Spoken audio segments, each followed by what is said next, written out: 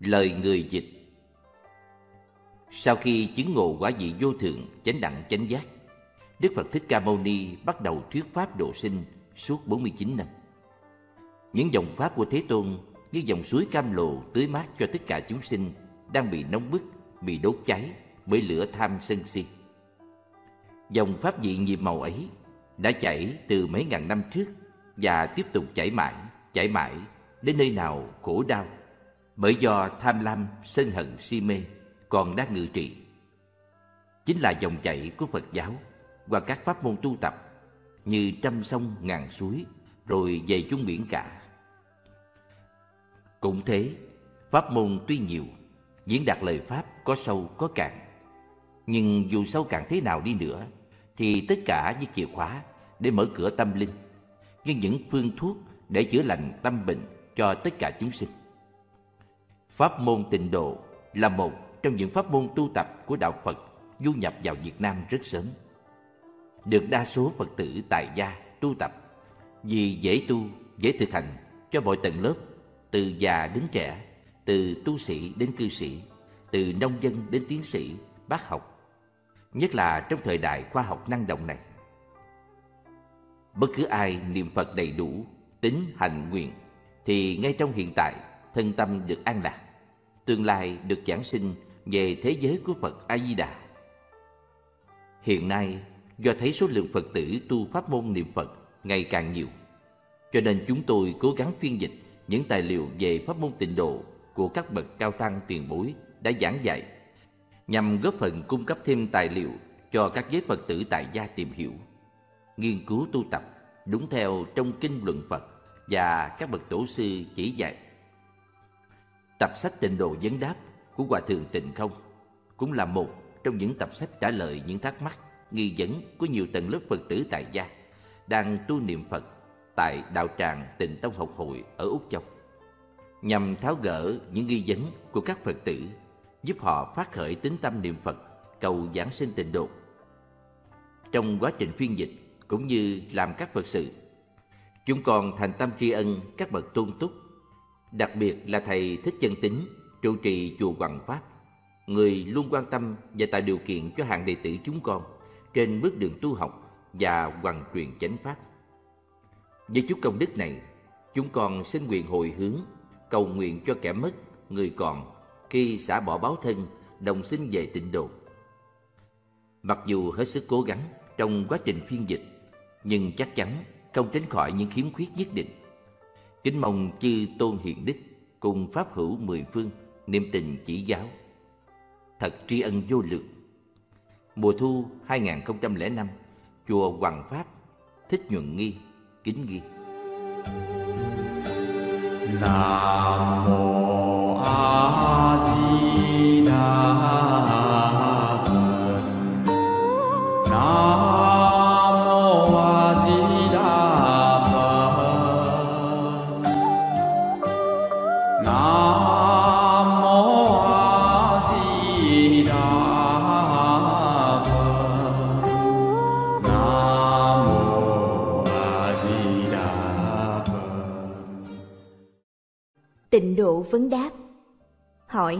Kính Bạch Hòa Thượng. Còn mỗi hôm ngủ sớm, dậy sớm Sáng ra đến bàn thờ lễ Phật Nương vào kinh điển Cũng như các lời dạy của các bậc thiện tri thức chỉ dạy mà tu hành. Vì hoàn cảnh gia đình Con không thể tham gia các khóa tu Phật thất Và cũng do sức khỏe Con không thức khuya để tinh tấn niệm Phật được. Vậy kính hỏi Hòa Thượng Con có vãng sinh tịnh độ được không? Đáp Đương nhiên là giảng sinh tịnh độ. Bởi vì trong ngũ kinh nhất luận không nói rằng Nhất định phải đi tham dự khóa tu Phật thất Thì mới được giảng sinh. Cũng không có nói nhất định thức khuya niệm Phật mới được giảng sinh. Chúng ta cần phải có niềm tin vững chắc vào giáo pháp mà tu hành. Không nên nghe lời người này người kia mà rối loạn tâm trí. Hỏi Kính thưa Hòa Thượng, mẹ con sống tại Nhật Bản và chuyên niệm Kinh Diệu Pháp Liên Hoa gần 20 năm rồi. Vậy kính hỏi Hòa Thượng, làm cách nào khuyên bà chuyển qua niệm Phật để cầu vãng sinh về tịnh độ. Xin Hòa Thượng chỉ dạy cho con rõ. Đáp Đây là một việc vô cùng trọng yếu. Bạn phải khéo léo khuyên bà niệm Phật là tốt nhất. Ở bên Nhật Bản, có tông Nhật Liên chuyên niệm kinh diệu Pháp liên quan. Điều trọng yếu là vào thời này phải niệm Phật cầu giảng sinh tịnh độ.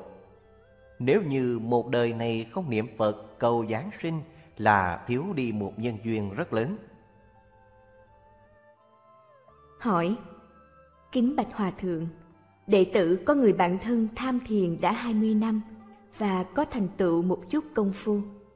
Tiếc rằng năm nay, chẳng biết anh ta tu tập ra sao mà bỗng nhiên bị tẩu hỏa nhập ma nhìn thấy sự vật gì cũng đều sợ hãi. Đệ tử chẳng biết cách nào để chỉ dẫn anh ấy hồi đầu niệm Phật.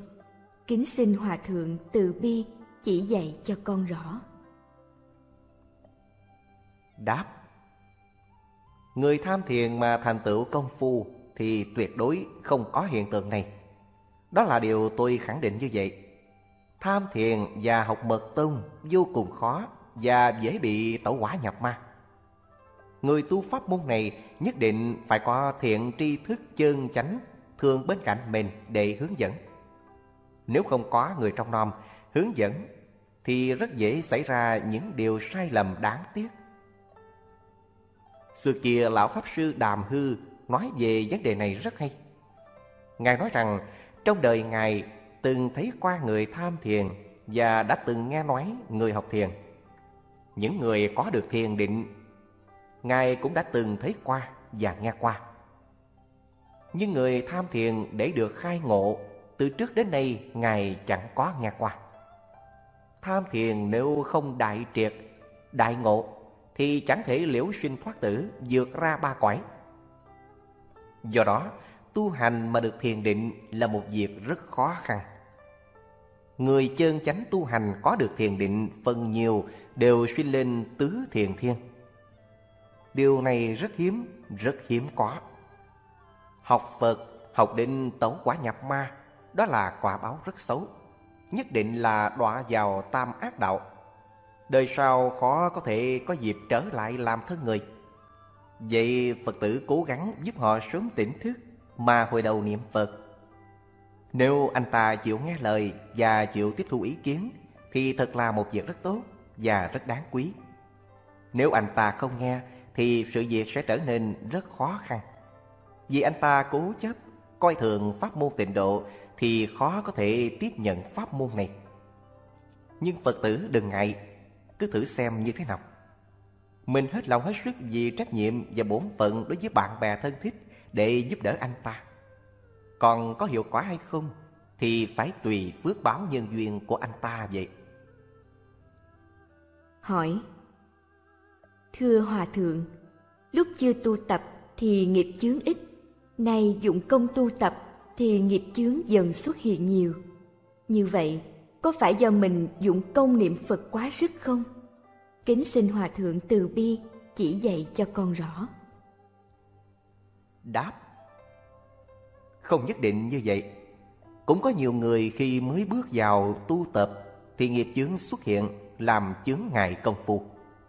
Có người khi công phu tu tập đắc lực Thì nghiệp chướng xuất hiện để khảo nghiệm Vậy ai đến khảo nghiệm chúng ta? Là những oan thân trái chủ trong đời quá khứ tìm đến Khi Phật tử công phu niệm Phật đắc lực Để cầu giảng sinh Tây Phương cực lạc Thì họ tìm đến gây phiền não với mình Muốn cản trở ý nguyện của chúng ta. Nếu gặp những trường hợp như thế, Chúng ta khởi lòng từ bi, Cầu nguyện cho họ. Hy vọng họ không đến quấy phá, Làm chướng ngại chúng ta nữa. Nếu chúng ta phát nguyện tu hành thành tựu giảng sinh về thế giới cực lạc, Thì quay trở lại cứu độ họ. Nhất định họ sẽ chấp nhận và còn ủng hộ chúng ta nữa. Giảng sinh về thế giới Tây Phương cực lạc Chúng ta mới đầy đủ năng lực cứu độ chúng sinh Hỏi Kính thưa Hòa Thượng Con đọc kinh vô lượng thọ cảm thấy rất tương ưng và rất khế nhập. Nhưng đọc kinh Hoa Nghiêm, con không hiểu gì cả. Vậy xin hỏi Hòa Thượng, có phải do con không đủ trình độ để hiểu bộ kinh này không? Kính xin Hòa Thượng từ bi chỉ dạy cho con rõ. Đáp trong những Phật tử đồng tu học Có người mới tu học đời này Có người tu học đời quá khứ Do vậy hôm nay đồng tu, đồng học Nhưng sự hiểu biết về Phật Pháp của mỗi người có sự sai khác Người có thiện căn sâu dày do trong quá khứ họ đã từng tu học qua pháp môn và một bộ kinh nào đó. Đời này gặp lại họ hiểu rất nhanh. Khi tu học, họ rất quan hỷ, chứng tỏ đời trước họ đã từng tu học qua rồi. Có người đời này gặp kinh, gặp pháp môn tu, nhưng tiếp nhận rất chậm và cảm thấy rất khó hiểu. Đó là họ mới có duyên đời này. Còn duyên của Phật tử, chắc trong đời quá khứ có tu theo pháp môn tịnh độ và đã đọc qua kinh quán vô lượng thọ rất nhiều. Cho nên bây giờ gặp lại sinh tâm vui vẻ và tụng đọc hiểu được ý kinh. Còn kinh Hoa Nghiêm do đời trước chưa có đọc qua, cho nên bây giờ tiếp xúc cảm thấy khó hiểu. Nguyên nhân là ở chỗ này. Hỏi, kính bạch hòa thượng, tại sao không thể đạt được kiến hòa đồng giải? Xin hòa thượng chỉ dạy cho đệ tử rõ. Đáp Vấn đề này Phật tử hỏi rất hay. Tại sao không thể đạt được kiến hòa đồng giải? Nguyên nhân chủ yếu là lúc nào bạn cũng thấy lỗi của người khác thì làm sao sống chung hòa một được với mọi người được. Do vậy mà không thể áp dụng kiến hòa đồng giải vào đời sống một cách thiết thực được. Kiến hòa đồng giải, cái phạm vi nhỏ nhất của nó là dùng vào gia đình, mà gần nhất là tình vợ chồng. Vợ chồng hòa hiệp thì gia đình hạnh phúc có câu Gia hòa dạng sự hưng làm thế nào để cho cuộc sống hòa một với nhau? Điều này trong các buổi giảng tôi thường nói đến. Luôn thấy chỗ hay, tốt của mọi người. Đừng nên nhìn khuyết điểm của mọi người. Điều này tôi đã nói rất nhiều với quý vị rồi. Vợ chồng khi chưa kết hôn, Đôi bên đều nhìn chỗ hay, tốt của nhau. Do đó mới sinh tâm quan hỷ rồi kết hôn. Sau khi kết hôn thì hỏng hết. Vì tối ngày chuyên nhìn thấy khuyết điểm của nhau. Điều này thì phiền phức lớn đó.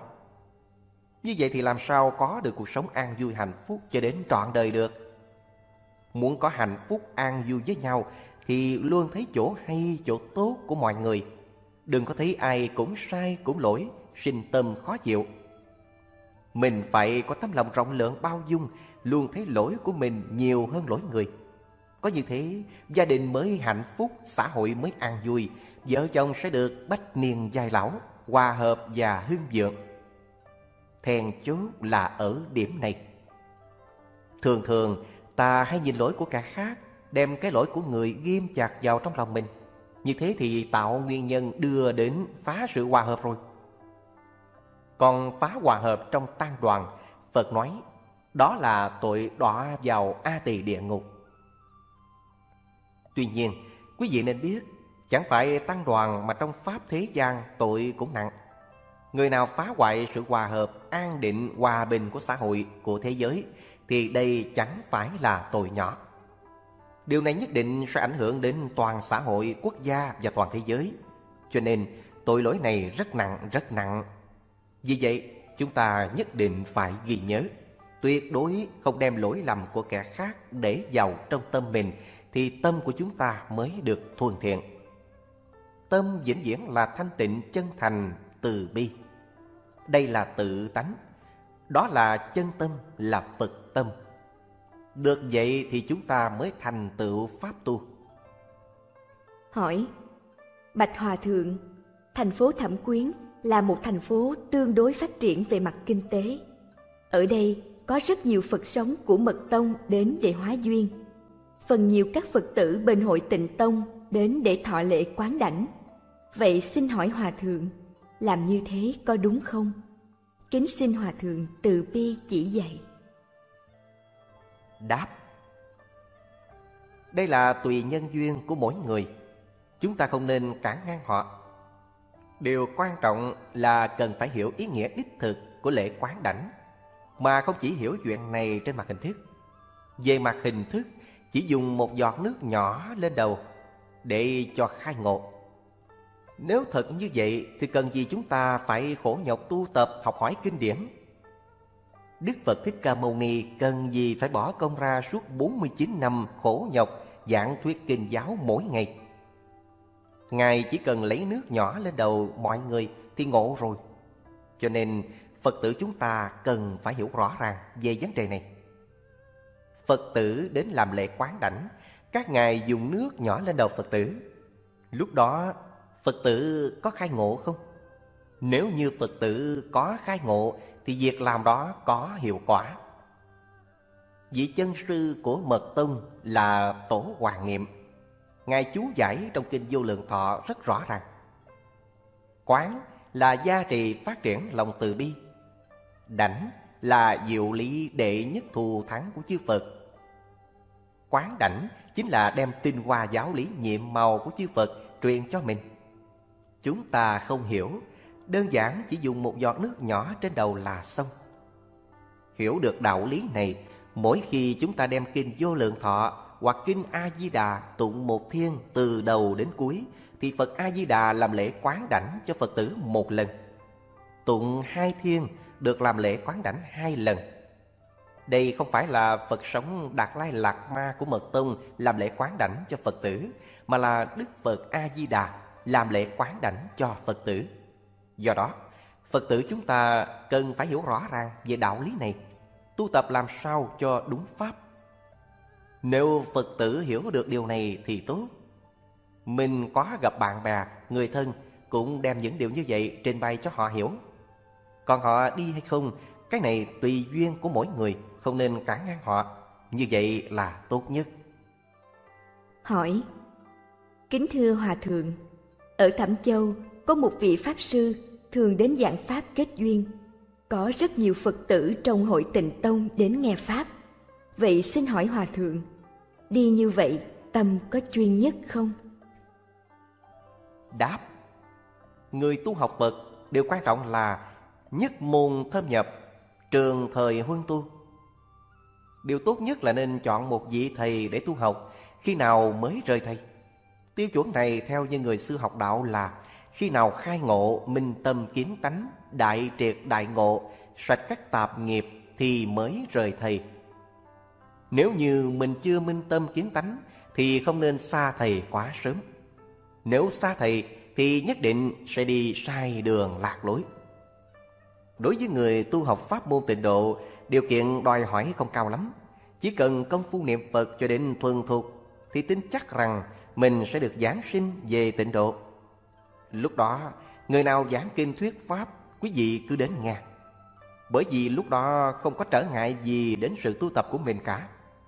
Còn như sự tu tập của mình chưa vững, công phu niệm Phật chưa thuần, việc giảng sinh về Tây Phương cực lạc chưa chắc, thì lo chuyên tu là điều tốt nhất.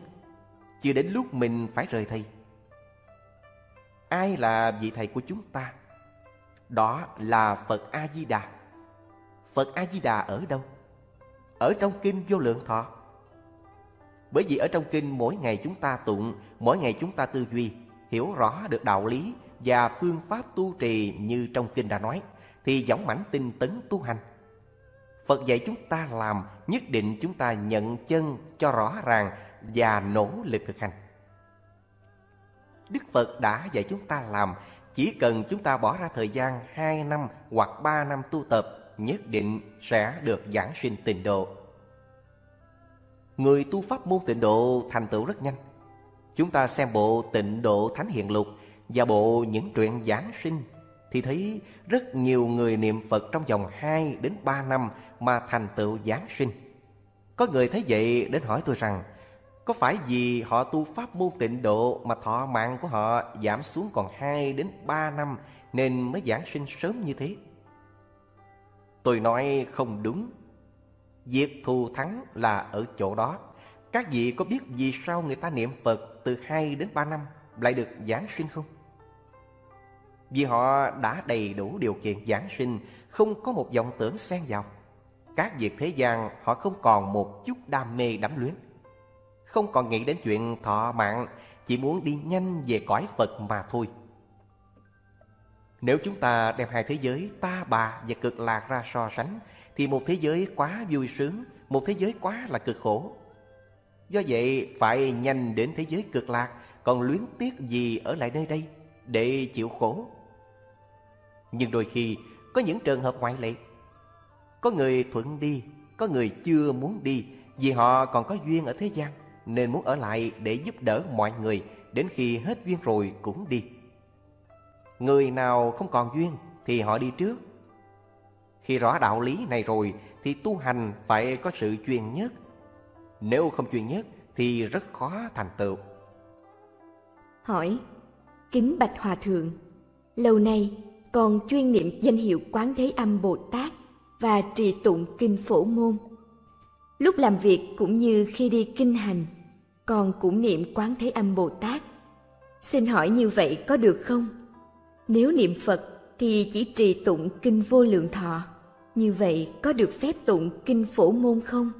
Xin Hòa Thượng chỉ dạy cho con hiểu. Đáp Cư sĩ Giang Dĩ Nông một đời chỉ trì niệm Kinh Kim Cang. Khi xếp kinh lại thì Ngài niệm Nam Mô A Di Đà Phật. Đây chính lời Ngài nói. Giáo tông bát nhã hành tại Di Đà.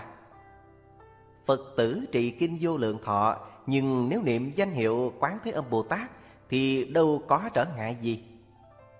Trì kinh phổ môn, niệm thánh hiệu Quán Thế Âm Bồ Tát đều được cả, chẳng có gì trở ngại đem công đức tu học của mình mà hồi hướng cầu sinh tịnh độ sẽ được giảng sinh. Trong ta bối giảng sinh, đoạn kinh văn sau cùng nói rõ.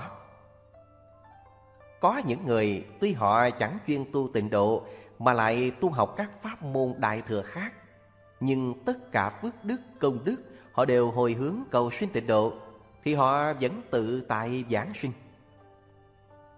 Cái cửa Tây phương tịnh độ của A Di Đà vô cùng rộng lớn, Chẳng phải nhất định Ngài tiếp dẫn những người chuyên tu niệm Phật Mà còn tiếp dẫn những người hoằng Pháp, các pháp môn khác.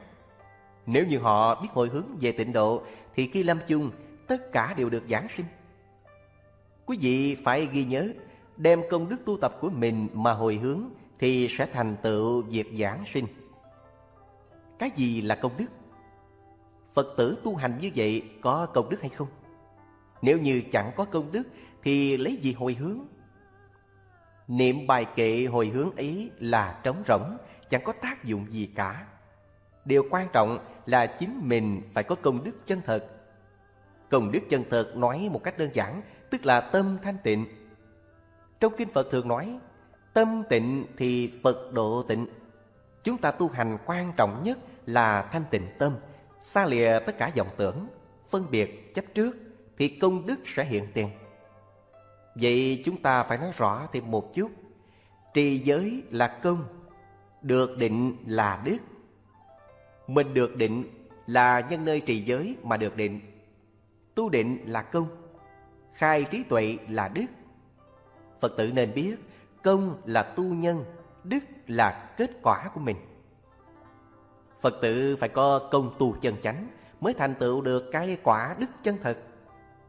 Trì giới, nếu như không được định, Thì việc trì giới đó là phước báo, Là phước đức chẳng phải công đức. Chúng ta thấy nhiều người trì giới rất nghiêm Trì nghiêm như họ Đó là phước đức Chẳng phải công đức Tại sao vậy? Vì họ không được định Họ vẫn còn vọng tưởng phân biệt chấp trước Cho rằng mình tu giới luật rất hay, rất giỏi Thấy người kia phá giới, người nọ phạm giới Thì ngày đó công đức của chính mình bị hủy hoại hết Trị giới như thế nào mới thành tựu công đức? Lục tổ quyền năng đại sư nói rất hay. Nhược như chân tu đạo nhân, Bất kiến thế gian quá. Tức là nếu như người chân thật tu đạo Thì chẳng nhìn lỗi thế gian. Trì giới đó là công đức. Ngài trì giới được định.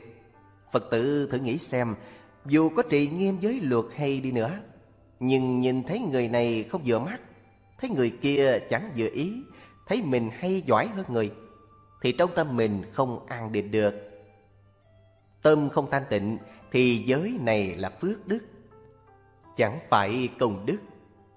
Công đức mới giúp chúng ta có thể liễu thoát sinh tử ra khỏi tam giới, còn phước đức thì không được. Công đức và phước đức chúng ta cần phải phân biệt rõ ràng, muôn ngàn không thể hiểu sai. Phật nói trong kinh, nhất niệm sân tâm khởi, bá dạng chướng muôn khai. Lại nói, lửa thiêu rừng công đức. Lửa gì đây? Là nỗi nóng, lửa sân hận. Trong tâm không vui gặp phải chuyện không như ý thì nổi nóng, ngày đó công đức sẽ mất hết. Công đức rất khó tu, khó tích tụ. Nếu như lúc mạng chung chỉ khởi một niệm sân giận thì công đức mất hết. Một đời tu tạo công đức, đến đó coi như hết. Quý vị thử hỏi một người nào đó, bạn có bao nhiêu công đức? Thì người đó trả lời, từ khi niệm Phật tụng kinh đến bây giờ, chưa bao giờ nóng giận. Ngày đó biết họ tích tụ được bao nhiêu công đức, thì mình biết ngay. Chúng ta nên biết, tâm nóng giận sẽ đánh mất hết công đức. Tâm tham ái cũng như vậy. Nói một cách khác, thất tình lục dục, người Trung Quốc gọi là hỷ nộ lạc ái ố, dục. Bảy thứ này nếu chúng ta chẳng trừ, nó sẽ phá sạch hết công đức của mình. Do đây có thể biết công đức không dễ tu, phước đức thì dễ. Phước đức sẽ không bỏ mất. Công đức không dễ tu nhưng rất dễ đánh mất. Đây là công đức và phước đức cần phải phân biệt cho rõ ràng. Hỏi, kính bạch hòa thượng, ở chùa Triều Dương có một vị cư sĩ tu cấm khẩu đã hai năm rồi. Một lần gặp ông, còn cảm nhận tâm của ông không thanh tịnh khi nói ra lời nói chứa đựng sự phiền não. Theo con hiểu, tu hành như vậy sẽ đoạn mất cái duyên lành đối với chúng sinh. Cách tu như vậy thấy thật thương xót. Xin hỏi Hòa Thượng, phương cách tu hành như vậy có đúng không? Kính xin Hòa Thượng từ bi chỉ dạy cho đệ tử rõ. Đáp. Phật tử nghĩ rất đúng. Mục đích cấm khẩu là ở chuyên tâm, Xa lìa các duyên bên ngoài, Để thanh tịnh tâm. Miệng tuy không nói ra lời, Nhưng thường dùng giấy bút để viết thay cho lời nói, Trao đổi với người này, người kia, Dùng phương pháp này để giảng nói. Điều này thật là phiền toái. Như vậy, họ chỉ cấm khẩu trên hình thức. Còn trong tâm, các niệm tưởng lăng xăng không dừng được. Các bậc tổ sư dạy chúng ta, Người tu hành phải từ nơi cội gốc mà tu. Cội gốc đó là nơi tâm của mình. Muốn cho tâm thanh tịnh, không nhiễm ô, Thì tâm phải lìa các cảnh duyên bên ngoài. Về mặt hình thức, Gặp chúng sinh có duyên cần giúp đỡ, Tuy cấm khẩu cũng có thể giúp được họ. Giúp người bằng cách nào? Có người thì cần phải nói nhiều Có người thì không cần nói. Nói nhiều không bằng nói ít Ít nói chẳng bằng không nói. Điều quan trọng dạy người cần phải khế lý, khế cơ. Nếu như không biết điều này Thì sự thị hiện của mình thật uổng phí. Người ta không hiểu, không hiểu Thì làm sao cảm hóa họ được? Nói tóm lại Chúng ta tu hành từ suy nghĩ đến việc làm Mục đích là lợi ích cho tất cả chúng sinh, Đem lại sự tốt đẹp cho mọi người. Còn làm việc gì không có ích lợi cho chúng sinh Thì nhất định chúng ta không làm. Thời gian của một đời người có hạn, Chúng ta phải làm những việc hữu ích Nhằm đem lại lợi lạc cho nhân quần xã hội. Có như vậy, chúng ta mới cảm hóa được vô lượng chúng sinh. Hỏi, Kính Bạch Hòa Thượng, Một đời gây tạo đủ các nghiệp ác nhưng lúc lâm chung Thật lòng sám hối, niệm Phật có thể được đới nghiệp vãng sinh về Tây phương tịnh độ, thoát khỏi mọi đau khổ. Hiện tượng này phải chăng nó mâu thuẫn và trái với luật nhân quả? Xin Hòa Thượng giải thích rõ vấn đề này cho chúng con hiểu. Đáp Xin thưa với quý vị, chẳng có mâu thuẫn. Những ghi hoặc của bạn là vì bạn chưa có nghiên cứu và đọc kỹ trong kinh Phật và các bậc tổ sư đã nói Bởi vì cõi Tây Phương cực lạc là một thế giới do công đức và lòng từ bi của chư Phật mà thành tựu một thế giới thanh tịnh. Với bi nguyện của chư Phật muốn cứu vớt hết tất cả những khổ nghiệp chúng sinh về nơi quốc độ của Ngài. Đây là một thế giới thuần thiện, nơi đó toàn là những bậc thánh tăng, Bồ Tát, La Hán, cho nên bất cứ ai sinh về cõi này thì sống trong môi trường tốt đẹp với các bậc thánh như vậy, không một ác duyên nào. Nói khác đi, chung quanh đều là thiện tri thức, chẳng có bạn ác đến dụ dỗ hoặc đến quấy nhiễu bạn.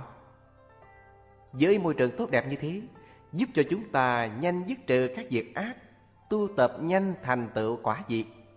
Dù người tạo nghiệp ác, nhưng biết thức tỉnh, ăn năn sám hối, quyết lòng niệm Phật, họ vẫn được Phật tiếp dẫn về Tây Phương và mang theo nghiệp cũ đó về cõi Phật.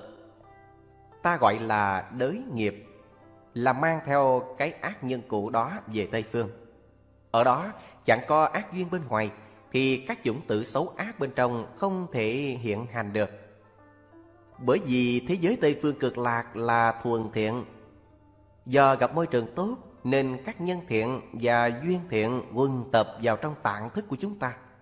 Nên việc tu hành rất nhanh thành tựu đạo quả. Đạo lý là ở chỗ này.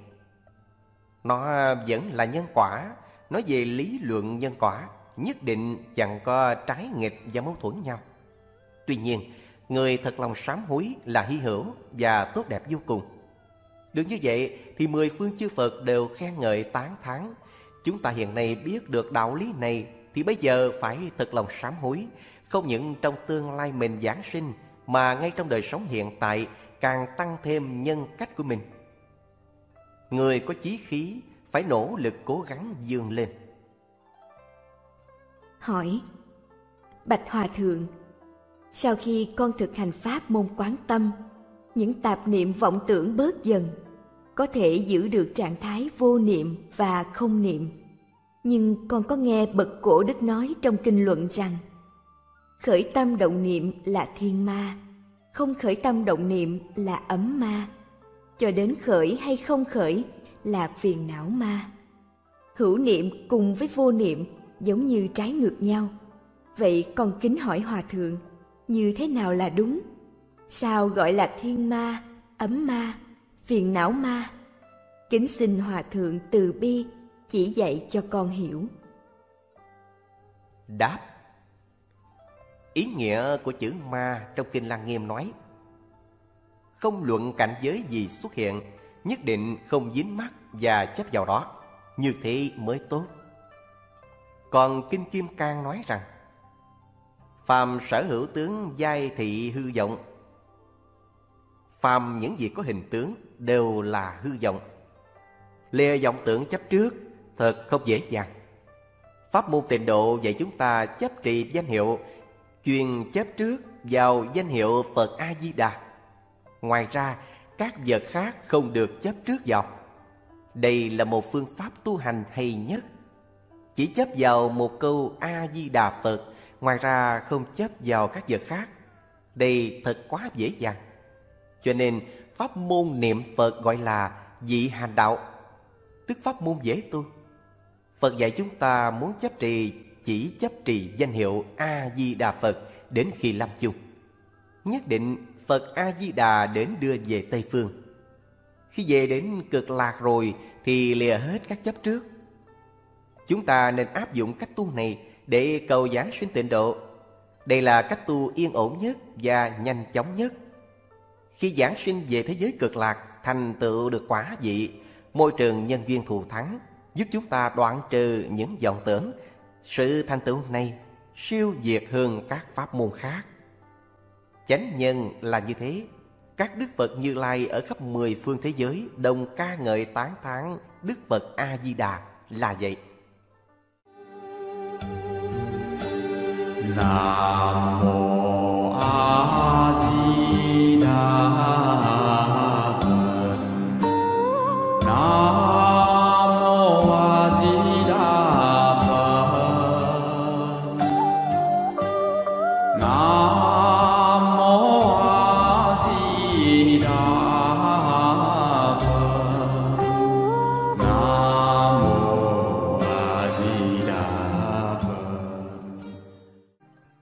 Hỏi Kính bạch hòa thượng, con cảm thấy câu nói tính, hành, giải.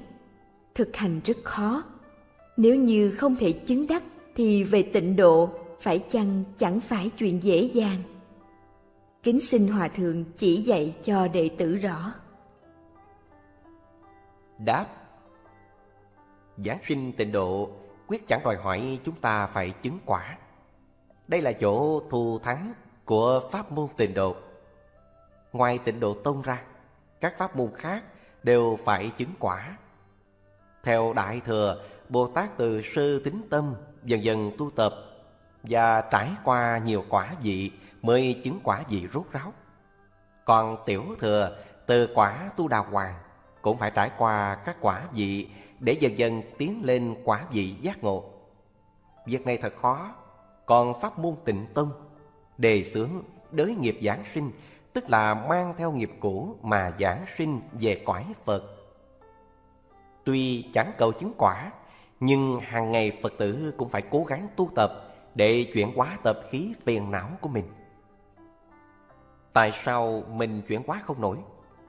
Là trong cuộc sống thường ngày có những lỗi nhỏ mà mình thường hay vi phạm, dần dần thành thói quen, do đó không thể chuyển nổi. Chỉ cần Phật tử tỉnh thức, quyết tâm sám hối, gặp các cảnh duyên thuận hay nghịch, tự mình có bản lãnh nhẫn nhục, nhẫn nại, không phát ra sự nóng giận, rèn luyện được công phu như vậy, thì giảng sinh Tây Phương cực lạc thế giới chẳng có trở ngại nữa. Công phu này rèn luyện bằng cách nào đây? Nhất định phải nhìn thấu buông xuống, thường thường nghĩ đến Phật. Kinh Kim Cang dạy chúng ta phàm sở hữu tướng giai thị hư vọng nhất thiết hữu vi pháp như mộng quyển bào ảnh. Đừng quá để ý so đo người này người kia bằng tâm đố kỵ ganh tị thì tự nhiên tâm chúng ta sẽ bình lặng. Nhìn người khác có lỗi đó là lỗi của họ. Lỗi đó với ta chẳng có liên quan gì. Chỉ cần chính ta không đồng tâm thì ta có thể giảng sinh. Một số người tu hành không thành tựu, cái rắc rối lớn nhất là gì? Là đem lỗi lầm của kẻ khác để vào trong lòng của mình. Không chịu buông xuống thì rắc rối lớn đó. Nhìn thấy người này lỗi, kẻ kia sai, cứ mãi ghim chặt vào lòng thì chính mình làm khổ mình trước và mất đi cơ duyên giảng sinh. Người thông minh nhìn thấy tất cả chúng sinh tạo tội nghiệp cực trọng, chỉ khởi lòng thương xót, cầu nguyện họ tránh những nghiệp ác. Khi đó họ càng tinh tấn niệm Phật Mong ngày thành tựu để cứu vớt tất cả chúng sinh. Nếu bạn đồng tu có sai phạm, Thì bằng lòng thành, Chúng ta góp ý khuyên nhủ họ. Tuy nhiên, Người xưa nói với chúng ta, Khuyên người nhiều nhất là ba lần, Không thể bốn lần. Bốn lần thì biến thành oan gia đối đầu. Ba lần khuyên họ chẳng chịu sửa lỗi Thì nên nhớ, vĩnh viễn chớ nên khuyên họ nữa. Khi gặp mặt nhau vẫn cung kính quan hỷ, làm bằng hữu, chứ làm oan gia. Làm oan gia thì không tốt rồi. Đây là cổ thánh tiên hiền dạy chúng ta nguyên tắc xử thế đối với người tại thế gian này là vậy. Hỏi Kính Bạch Hòa Thượng Tiểu thừa tu tập theo Pháp thiền tứ niệm xứ Còn Đại thừa tu Pháp thiền Mật giáo thì tu trì chú và pháp môn quán tâm. Vậy con kính hỏi Hòa Thượng, các tông phái nhiều như vậy thì cách tu có giống nhau không? Có phải cách nào cũng bổ sung cho nhau mới thành tựu được? Kính xin Hòa Thượng chỉ dạy cho con rõ.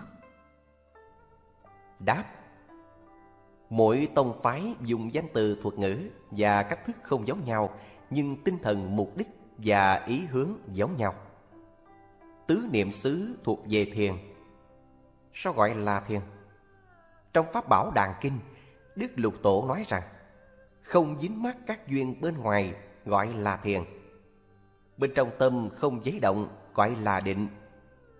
Kinh Kim Cang nói không dính mắc hình tướng như như bất động. Không dính mắc nơi hình tướng gọi là thiền, như như bất động gọi là định.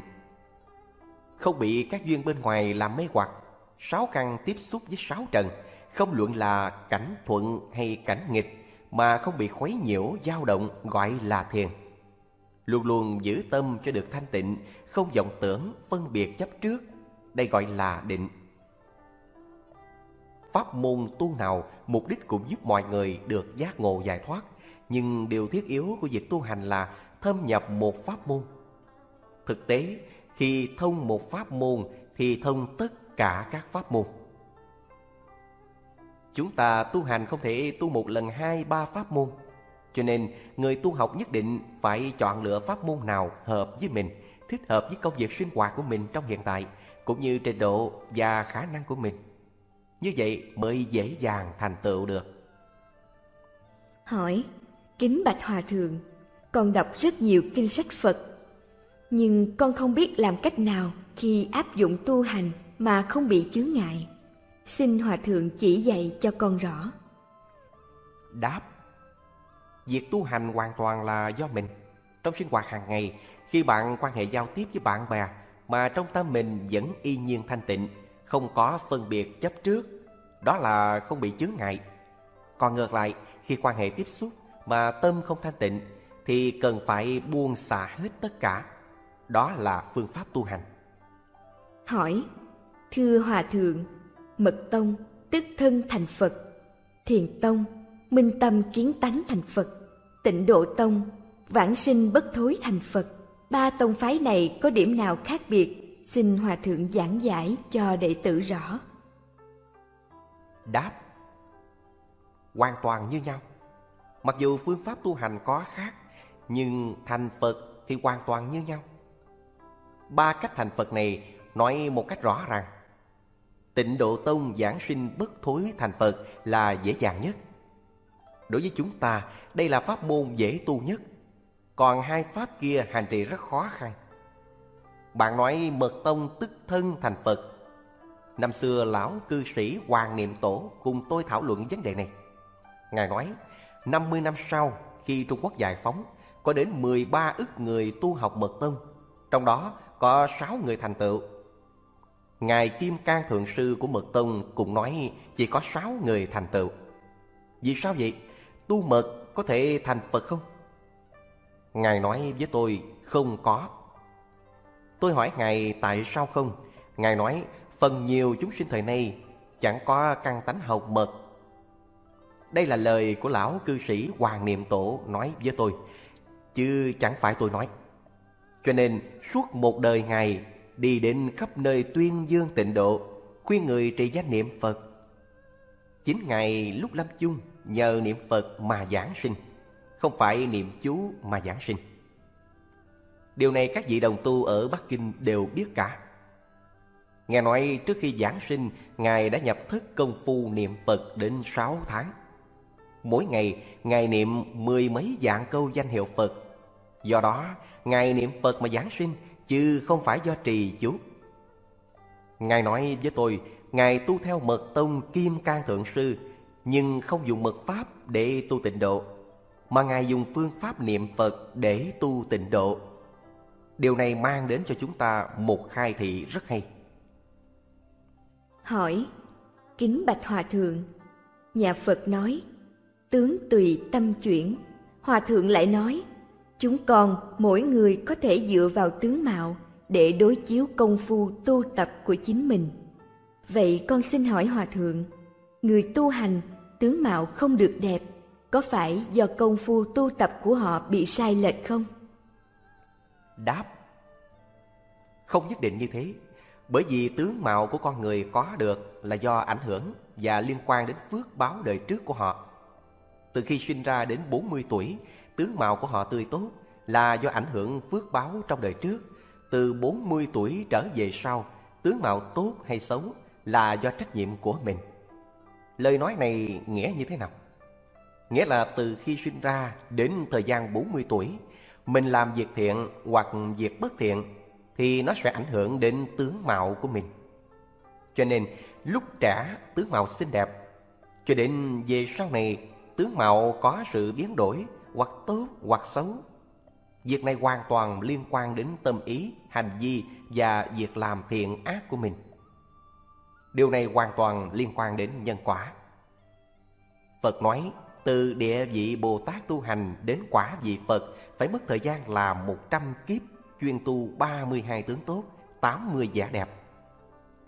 được 32 tướng tốt và 80 giả đẹp là do gieo trồng nhân lành mới có kết quả như vậy. Sao Phật nói thời gian dài như thế để tu tướng tốt? Đây là sự thị hiện để cho chúng ta thấy. Tâm lý chúng sinh đều muốn cho tướng mạo của mình tươi đẹp Cho nên Phật thị hiện tướng mạo đoan nghiêm, tươi đẹp Để chúng sinh biết rằng Tướng của mình có tốt đẹp hay không Là do tu các thiện nghiệp mà thành. Chúng ta hiểu được như thế Thì nên tích cực tu các nhân lành Nhất định sẽ được quả báo lành.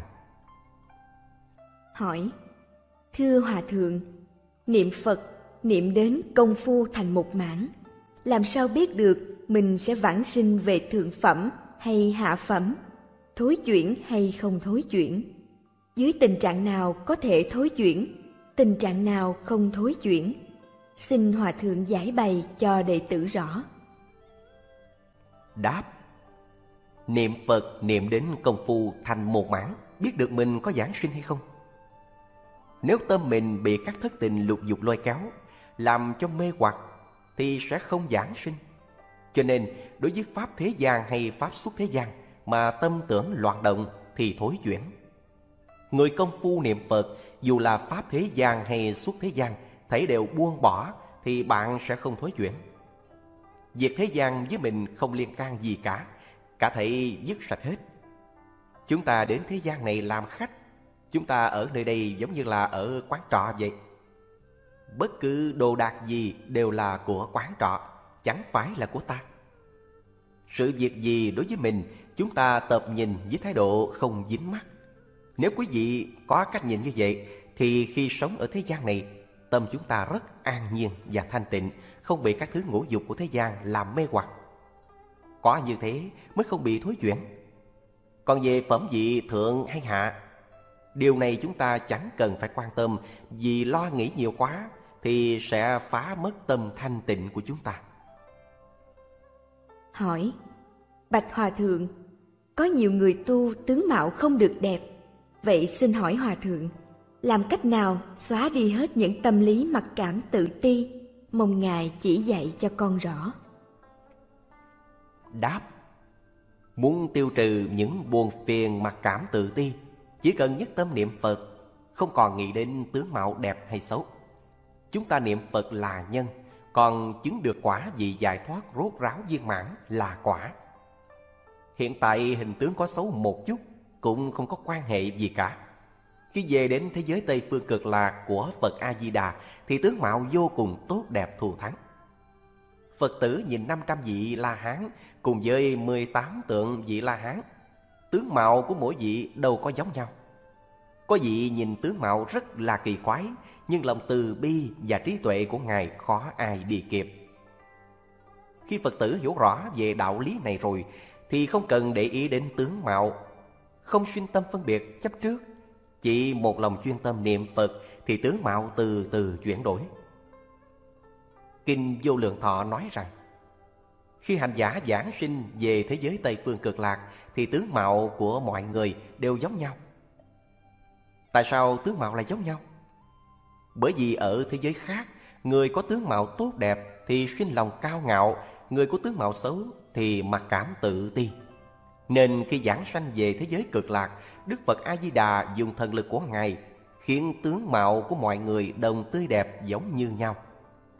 Ở Tây Phương, ai ai cũng có thân tướng tốt đẹp như Phật A-di-đà. Mọi người ai cũng có tướng mạo giống nhau. Như vậy có lẫn lộn không? Không, ở thế giới Tây Phương cực lạc, mỗi người đều có trí tuệ và đầy đủ sáu loại thần thông. Do đó, tuyệt đối không có nhầm lẫn với nhau được. Hỏi, thế nào là thượng phẩm? Đáp, khi nãy tôi vừa nói, sinh tử tự tại là thượng phẩm. Quả thực, muốn đi lúc nào thì đi lúc đó. Đây là thượng phẩm là kết quả công phu niệm Phật gom thành một mảng của bạn. Đại khái giảng sinh về thượng thượng phẩm. Thượng trung phẩm ở thế giới Tây Phương cực lạc có thể tùy theo ý nguyện của mình. Bạn muốn lúc nào đi thì A-di-đà Phật đến tiếp dẫn lúc đó. Đây là thượng thượng phẩm, thượng trung phẩm. Còn nếu phẩm vị thấp hơn một chút thì bạn sẽ không tự tại được như vậy. Tuy nhiên, cũng biết trước giờ chết. Những người công phu giỏi thì đại khái biết trước đó một năm hoặc hai năm. Đó là giảng sinh về trung phẩm. Trong trung phẩm này cũng có người biết trước nửa năm hoặc ba tháng mình sẽ giảng sinh. Có người biết trước từ một đến hai tuần mình sẽ giảng sinh. Và cũng có người biết trước ba hoặc bốn ngày thì thuộc về hạ phẩm. Từ chỗ này chúng ta có thể thấy rất rõ ràng minh bạch. Song chỉ cần chúng ta cầu giảng sinh là được rồi. Ngài Ngẫu Ích Đại Sư nói rất hay. Chỉ cần được giảng sinh vào hạ hạ phẩm, tôi cũng thấy thỏa mãn lắm rồi.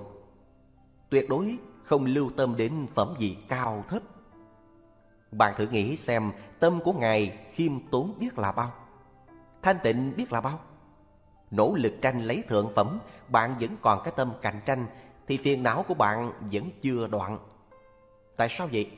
Vì bạn vẫn còn cái tâm muốn hơn người khác một bậc. Cái tâm này là chướng ngại. Cái tâm hơn thua vẫn chưa loại bỏ. Tâm hơn thua là phiền não, là cống cao ngã mạng. Cho nên tu hành phải chân thành, thanh tịnh, bình đẳng. Tâm thanh tịnh thì tự nhiên hợp với đạo. Trong tông tịnh độ có bộ kinh vô lượng thọ, nghĩa là thanh tịnh bình đẳng giác kinh. Như thế nào gọi là thanh tịnh? Trong tâm có tạp niệm thì tâm không thanh tịnh rồi. Nếu có phân biệt, có chấp trước, đó là sự không thanh tịnh. Do đó, cần phải buông bỏ hết những thứ này. Phật nói như thế, chúng ta chỉ nghe là được rồi, nhất định không có nghi hoặc phân biệt chấp trước. Nhất tâm hướng Phật, nhất tâm niệm Phật, nhất định sẽ được giảng sinh. Hỏi Kính Bạch Hòa Thượng Trước đây, con có tình nguyện dâng hiến một bộ phận trong cơ thể của con cho người bệnh. Vậy con kính hỏi Hòa Thượng, trước khi lâm chung, con muốn hiến dâng hết các bộ phận còn lại. Không biết làm như vậy có ảnh hưởng gì đến việc vãng sinh của con không? Xin Hòa Thượng từ bi chỉ dạy cho con rõ.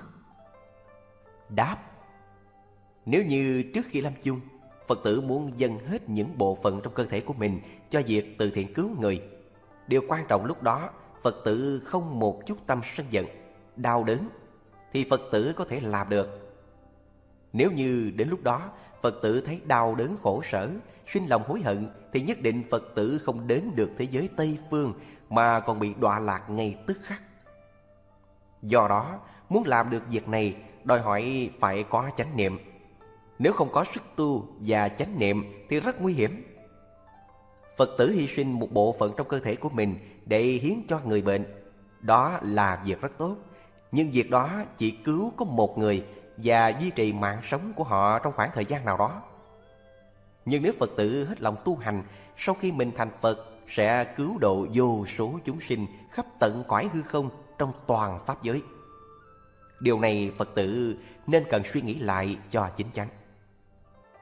Hỏi Kính Bạch Hòa Thượng Trước đây, con có tình nguyện dâng hiến một bộ phận trong cơ thể của con cho người bệnh.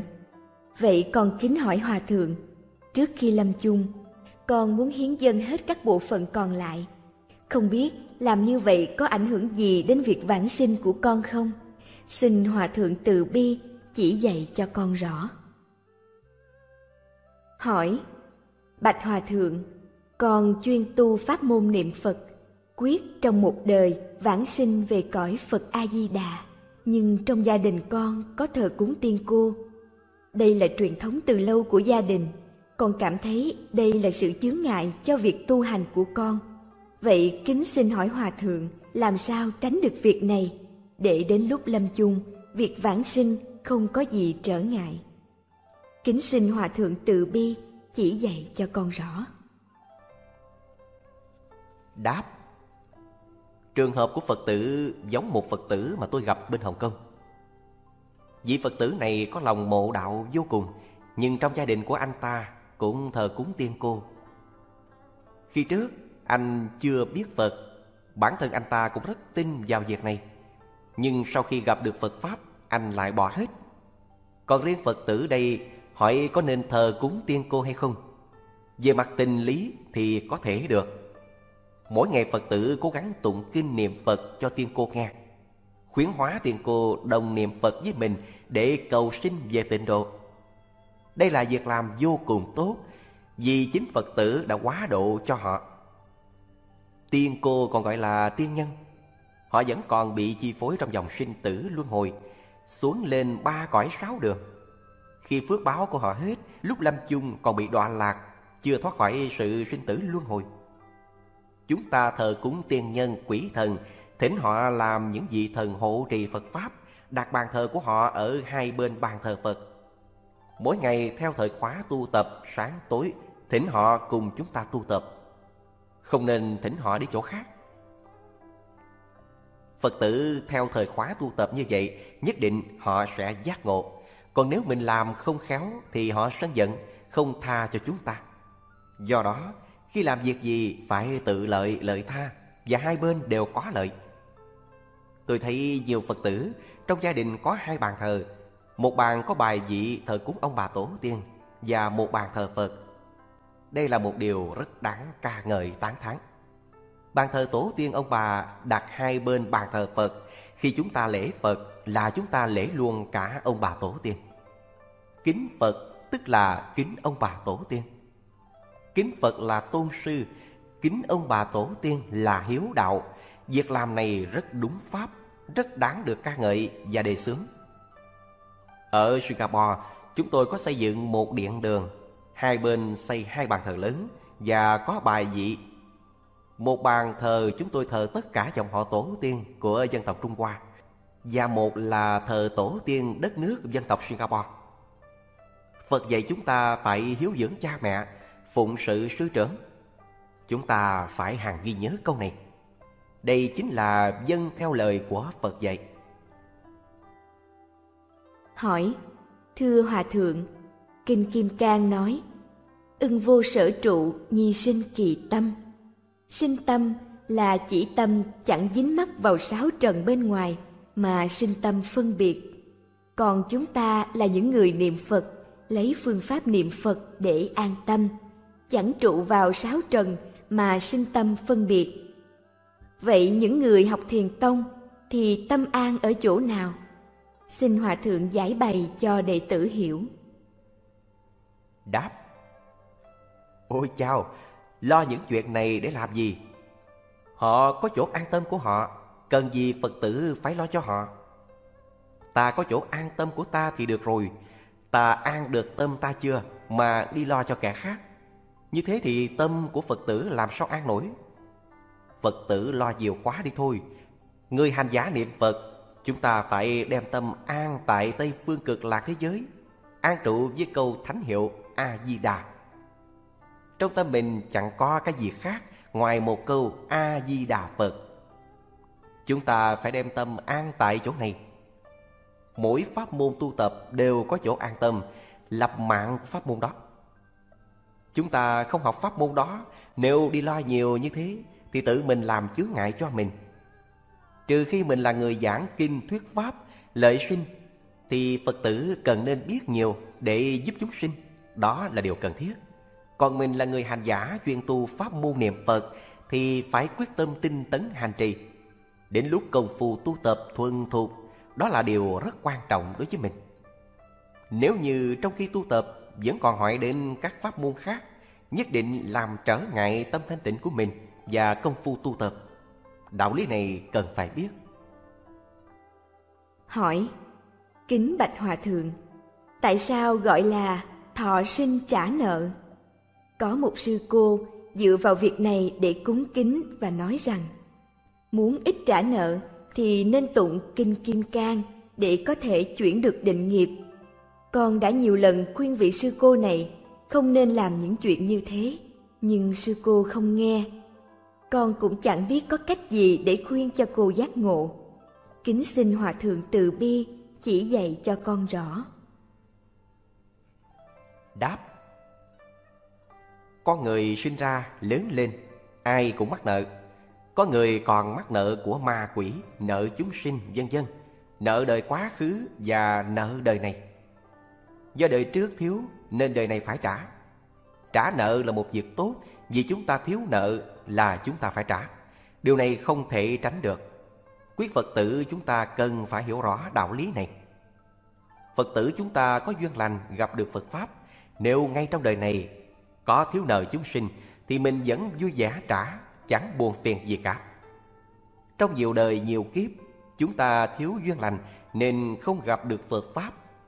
Nên không tránh khỏi những việc gây tạo tội nghiệp, gieo ân kết oán với vô số chúng sinh từ vô lượng kiếp đến nay. Dây trả trả dây cứ xoay dần không thể kể cho hết được. Do vậy mà con đường đi đến giải thoát giác ngộ luôn bị chướng ngại. Nguyên nhân là ở chỗ này, hoàn toàn do chính mình gây tạo quá nhiều nghiệp bất thiện trong đời quá khứ. Phật dạy chúng ta phải cố gắng tự mình nỗ lực tinh tấn tu hành, tụng kinh, lễ Phật, sám hối, làm các việc thiện rồi hồi hướng công đức đó đến cho họ. Đó chính là chúng ta trả nợ. Muốn việc hồi hướng được viên mãn tốt đẹp thì phải bằng tâm chân thành của mình, bằng sự thiết tha phát lồ sám hối. Nếu chúng ta chỉ dùng lời nói mà việc làm không tương ứng với tâm, chỉ niệm suông thì đâu có tác dụng gì. Chúng ta ngày nay hiểu được Phật Pháp rồi thì mọi cử chỉ hành vi cũng đều lợi ích cho tất cả chúng sinh. Lợi ích cho Phật Pháp, không làm những việc sai lầm. Được như vậy thì công đức hôm nay tạo ra mới đúng thật là ý nghĩa của việc hồi hướng. Trên báo bốn ân lớn, dưới cứu ba đường khổ. Từ vô lượng kiếp, chúng ta đã chịu ân vô số chúng sinh và cả oan thân trái chủ. Có ân thì chúng ta hồi hướng cho họ để báo đáp ân đó. Có oán, chúng ta cũng hồi hướng cho họ để giải trừ oán kết. Làm việc gì cũng phải xuất phát từ nơi nội tâm của mình, đó là chân thành, thanh tịnh, bình đẳng, từ bi. Như thế mới đúng nghĩa là hồi hướng cho họ. Đã là định nghiệp thì chúng ta không thể chuyển được. Trong kinh nói rằng, ngay như Đức Phật Thích Ca Mâu Ni cũng không thể chuyển định nghiệp được. Chúng ta tôn trọng mọi người, khuyên bảo họ bằng tấm lòng, nhưng họ không nghe thì bổn phận của chúng ta hết rồi. Nghe hay không là việc của họ. Giống như ta khuyên người thân trong gia đình và cả bạn bè. Khuyên lần thứ nhất, lần thứ hai, không chịu nghe thì chúng ta đừng nói nữa. Không khéo, lòng nhiệt thành của mình trở thành oán thù đối với họ. Nếu như vậy thì chúng ta làm cách nào? Tự mình nỗ lực công phu tu tập nhiều hơn, làm sao để họ nhận được sự thanh thoát nơi chính mình. Sau này gặp lại chúng ta, họ cảm nhận được đạo vị giải thoát, thì ngày đó mình đã chuyển hóa họ rồi. Hồi tôi còn ở bên Trung Quốc, có rất nhiều bạn bè học cùng lớp không tin Phật Pháp, lại còn phản đối việc học Phật của tôi. Họ nói với tôi rằng, tại sao bạn lại mê tín như thế? Sau này tôi qua Đài Loan, xa cách nhau đến 10 năm. Bây giờ gặp lại tôi, họ nói rằng, bạn chọn đúng đường rồi. Tôi đưa tặng các kinh sách cho họ, họ rất vui mừng và đọc hết tất cả. Như vậy, chúng ta chỉ cần im lặng mà sống để họ thấy được sự thanh thoát của mình mà tự họ giác ngộ. Cảm hóa được người thân quyến thuộc không phải một lúc là chúng ta làm được liền. Hiện tại nói họ không nghe, đến vài năm sau chúng ta khuyên họ mới chịu thức tỉnh hồi đầu. Khi tuổi càng lớn, họ càng cảm nhận sâu sắc những cảnh trái ngang của cuộc đời, những sự mất còn khốn khó, thì lúc đó họ dễ dàng thức tỉnh hơn. Tuổi còn trẻ, nhiệt khí mạnh mẽ, tự tin vào sức mạnh của mình, không dễ dàng khuyên bảo họ được. Chúng ta cần phải có tâm nhẫn này kiên trì mới có kết quả được. Hỏi, thưa Hòa Thượng, Hòa Thượng thường nói đoạn trừ phiền não, nhưng trong kinh nói phiền não chẳng thể đoạn. Vậy xin hỏi Hòa Thượng, rốt cuộc thì phiền não đoạn được hay không? Đoạn bằng cách nào? Hai câu này có mâu thuẫn không? Xin Hòa Thượng giải bày cho đệ tử hiểu. Đáp Bạn hỏi câu này không sai. Trong kinh Đại Thừa, Phật dạy chúng ta Phiền não tức Bồ Đề. Nếu phiền não đoạn rồi thì ngay đó là Bồ Đề hay sao? Phiền não có cần phải đoạn không? Phải đoạn. Nếu như không đoạn phiền não thì bạn không có cách gì rời khỏi thế gian này. Không có cách gì thoát ly ra khỏi lục đạo luân hồi được. Cần phải khẳng định điều này như vậy. Nhưng trên thực tế, phiền não chẳng cần phải đoạn, mà chỉ chuyển hóa thôi. Đem nó chuyển hóa thành bồ đề, tức là phiền não đã biến thành bồ đề rồi.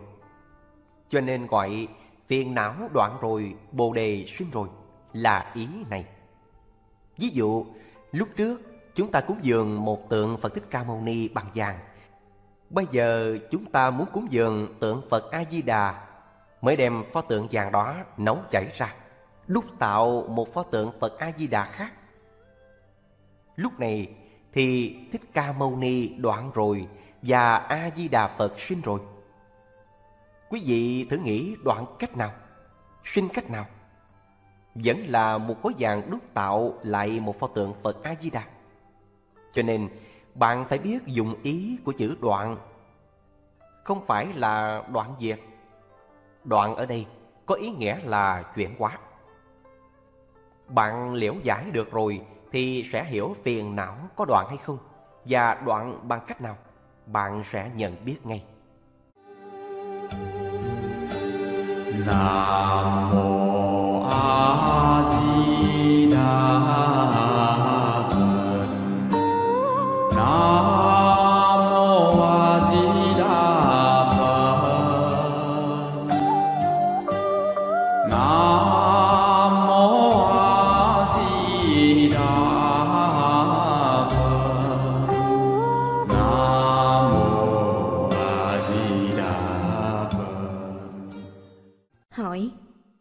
Bạch Hòa Thượng, người chết rồi có nhất định phải tụng kinh thọ sinh không? Việc này con không được rõ lắm. Kính xin Hòa Thượng từ bi chỉ dạy cho con hiểu. Đáp Đây là do ảnh hưởng của tập tục thế gian, chứ trong kinh Phật không nói việc này. Đức Phật rất từ bi, Ngài biết rằng vào kỳ mạt Pháp, các loại ma nổi lên quấy nhiễu rất nhiều Chúng sinh chẳng biết nương tựa vào đâu nên Đức Phật chỉ dạy cho mọi người nương vào Pháp tứ y. Thứ nhất là y Pháp bất y nhân. Y Pháp tức là nương tựa vào kinh điển. Chúng ta không được tin vào kinh điển do ma thuyết. Kinh điển rất nhiều, Làm sao chúng ta biết bộ kinh nào do ma thuyết, Bộ kinh nào do Phật thuyết? Khi Đức Phật Thích Ca Mâu Ni còn tại thế, Chúng ta có vấn đề gì thì trực tiếp đến gặp Đức Phật. Ngài giống như là bác sĩ, còn chúng ta là bệnh nhân. Ngài bắt mạch kê toa bốc thuốc, chúng ta dựa vào những lương dược đó mà uống để lành bệnh. Bây giờ Phật không còn tại thế, kinh điển còn lại rất nhiều, nhưng phần nhiều do người đương thời kê toa bốc thuốc cho chúng sinh. Chính vì thế, tự mình phải hiểu được căn bệnh của mình cần phải uống loại thuốc gì, thuốc gì không được uống. Nhất định chúng ta không được dùng hết, nếu không nhất định sẽ chết không có nghi ngờ gì cả. Phật chỉ cho chúng ta một phương thuốc tùy theo thời mà uống. Thời kỳ chánh pháp là thời kỳ người tu thành tựu về giới luật. Thời kỳ tượng pháp thành tựu về thiền định. Thời kỳ mạt pháp là thời kỳ thành tựu về pháp tu niệm Phật cầu sinh tịnh độ. Chúng ta sinh vào thời này là đúng vào thời mạt Pháp, thì nên chọn pháp môn tịnh độ để tu tập. Đây là lời chỉ dạy của Đức Phật Bổn Sư Thích Ca Mâu Ni. Pháp môn tịnh độ có năm bộ kinh và một bộ luận làm chính. Chúng ta không nên lấy hết, mà chỉ chọn một bộ trong số đó là đủ rồi. Trong sáu bộ này, chúng ta coi bộ nào hợp với mình, xem thấy vui thích hiểu được nghĩa lý thì dựa vào đó mà tu hành. Cần phải thâm nhập một môn thì mới có khả năng thành tựu được. Chúng ta không nên tham quá nhiều. Người ta thường nói, ăn nhiều thì nhai không kỹ. Trong năm bộ kinh và một bộ luận đó, chúng ta chọn một nắm vững đạo lý trong kinh và phương pháp hành trì thì nhất định sẽ thành tựu. Hỏi Thưa Hòa Thượng, nhân quả chuyển biến tương tục. Ngài nói, muốn chuyển nhân quả phải từ trên duyên mà đoạn. Vậy thì tại sao Phật, Bồ Tát hoặc chư vị đại đức xưa nay chẳng đem duyên này để đoạn cho xong, lại còn phải thọ các thứ nghiệp báo?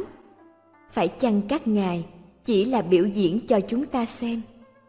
Xin Hòa Thượng giải thích cho đệ tử hiểu. Đáp Đúng như vậy, chư Phật và Bồ Tát đến thế gian để thị hiện cho chúng ta thấy. Việc thị hiện là để biểu diễn cho chúng ta xem. Những người nhìn ra bí quyết này đều khai ngộ cả, đều được lợi ích. Những người không nhìn ra bí quyết, cho dù họ chưa rõ ý của Phật, cũng trồng được thiện căn. Chúng ta phải biết ý nghĩa này, từ trên duyên mà đoạn. Ý nghĩa câu nói này rất sâu. Chữ duyên không phải là trên sự tướng cũng như các duyên bên ngoài, mà là sự phan duyên trong ý thức tâm lý. Cho nên đoạn trừ là đoạn từ chỗ này, chẳng phải ở nơi cảnh tướng bên ngoài mà đoạn. Nếu đoạn sự cảnh tướng bên ngoài là sai lầm. Đoạn trên sự tướng, còn trong tâm chẳng đoạn thì vẫn còn tạo nghiệp, vẫn phải thọ báo. Cho nên phải từ trong tâm mà đoạn, trên niệm mà đoạn, sau đó mới có thể nhập cảnh giới của Phật. Cảnh giới của Phật trong Kinh Hoa Nghiêm giảng rất rõ ràng. Lý sự vô ngại, sự sự vô ngại. Có thể thấy rằng trên sự tướng chẳng có chướng ngại. Chướng ngại là ở tại tâm, tức là vọng tưởng phân biệt chấp trước. Vậy thì chư Phật, Bồ Tát, Tổ sư, Đại Đức xưa nay thị hiện từ trên sự tướng là thiết. Thật ra các ngài đã đoạn trừ trong tâm cả rồi. Chúng ta nên lãnh hội ý nghĩa này. Nếu họ từ trong tâm mà đoạn thì chúng ta nhìn không ra. Do đó, từ trên sự tướng các ngài biểu diễn cho chúng ta xem. Chúng ta nhìn từ trên sự tướng mà thể hội giàu tánh, như vậy thì mới được lợi ích. Nếu người học Phật một mực nhìn sự tướng thì không được, phải thể hội về tánh. Cho nên nhìn thấy sự phải rõ lý, nhìn thấu lý từ trên sự. Phải thông đạt như thế thì học Phật mới đạt được lợi ích chân thực. Hỏi Kính Bạch Hòa Thượng Con người sau khi chết Linh hồn sẽ đi về đâu? Xin Hòa Thượng giải thích cho chúng con hiểu Đáp Điều này lời Phật dạy trong kinh rằng Muốn biết con người khi chết sẽ đi về đâu Chúng ta thử nghiệm như thế này sẽ biết được. Khi người chết tắt hơi mà thần thức xuất ra dưới lòng bàn chân, Thì biết người này đọa vào địa ngục. Sao lại biết họ đi vào địa ngục? Vì khi đó toàn thân phía trên lạnh hết, Chỉ có hơi ấm giữ lại dưới bàn chân. Nếu đi ra nơi đầu gối, Thì biết họ sinh vào loại ngạ quỷ. Nếu thoát ra ngay bụng, Thì biết họ sinh vào loại súc sinh. Nếu thoát ra ngay ngực Thì biết họ sinh lại làm người Nếu thoát ra trên đầu Thì biết họ sinh về cõi trời còn thoát ra trên đỉnh đầu thì biết họ giảng sinh về Tây Phương Cực Lạc. Nếu quả thật sinh thiên hoặc giảng sinh về Tây Phương Cực Lạc thì thần thức đi rất nhanh. Còn sinh vào các cảnh thiện thì thân thể rất mềm, không khô cứng. Có khi để cả hai tuần mà thân thể vẫn tươi, không có mùi hôi. Hỏi Thưa Hòa Thượng, Phật, Bồ Tát có phải nhận chịu nhân quả báo ứng không? Đáp Ồ, xưa kia có một lão hồ ly biến thành người đến hỏi tổ bá trợn rằng Người đại tu hành vẫn rơi vào luật nhân quả không? Câu hỏi này hoàn toàn giống như câu hỏi của bạn. Người đại tu hành còn rơi vào luật nhân quả không? Lão hồ ly này trong kiếp trước là một pháp sư giảng kinh nói pháp. Có người hỏi ông ta câu này, Nhưng ông ta đã đáp sai. Ông ta nói, Bất lạc nhân quả, Tức chẳng rơi vào nhân quả. Kết quả là Ông bị đọa vào súc sinh, Làm loài chồn đến 500 năm. 500 năm sau, Ông tu luyện được thân người. Đến gặp tổ bá trượng để thỉnh giáo rằng Làm cách nào để thoát ly súc sinh đạo? Tổ bá trượng nói, Ngày mai khi tôi thăng tòa thuyết pháp, ông đem câu hỏi ngày xưa mà người ta hỏi ông đến hỏi lại tôi một lần nữa. Hôm sau, ông ta đến hướng về Pháp Sư đảnh lễ xong, sau đó cung kính thỉnh giáo Ngài và đưa ra câu hỏi này. Người tu hành còn rơi vào nhân quả không? Tổ bá trượng trả lời rằng, Bất nguội nhân quả, Tức không mê làm nhân quả. Chỉ sửa đi một chữ Mà ngay đó ông ta hiểu được. Hôm sau, ông ta chết thoát ly được thân chồn. Qua ngày hôm sau, Đại sư bá trượng dẫn một số người đến sau núi Tìm con hồ ly đó, Thì phát hiện ra nó đã chết Và đem chôn cất. Ngài nói với mọi người rằng con hộ liên này là ông lão hôm qua đến hỏi chuyện tôi đó.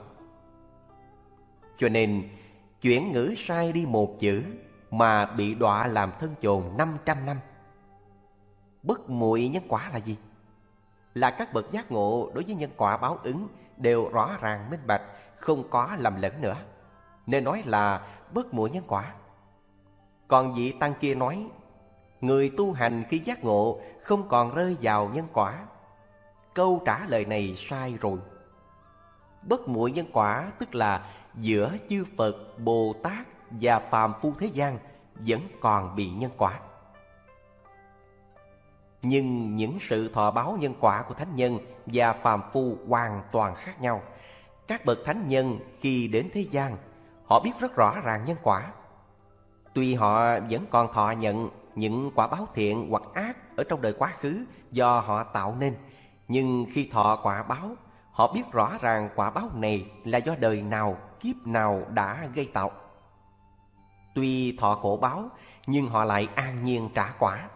Chẳng bao giờ than oán lo sợ, đây là người đại tu hành, đã giác ngộ. Còn phàm phu thì sao? Mê lầm gây tạo những tội nghiệp, không biết trước được nhân quả báo ứng đến lúc nào. Khi thọ khổ báo thì không cam tâm, không tình nguyện, oán trời trách người Thêm tội lại thêm tội. Thánh nhân và phàm phu khác biệt ở chỗ Một bên là biết Và một bên là không biết. Sự việc là như thế. Hỏi Kính Bạch Hòa Thượng Đệ tử quyết một đời niệm Phật cầu sinh Về thế giới Tây Phương tịnh độ Nhưng hiện tại Đệ tử còn cha mẹ Nên trong lòng không thể buông được nhưng lại sợ này không tinh tấn tu hành mà gây tạo tội nghiệp. Đến khi lâm chung bị đọa lạc, không biết đời sau có nhân duyên gặp lại Phật Pháp nữa hay không, nên đệ tử rất lo sợ. Hiện tại, con muốn tu tập, mong sao không có gì chướng ngại, phiền não xảy ra. Nếu có, thì con phải làm thế nào? Mong Hòa Thượng từ bi chỉ dạy cho con rõ.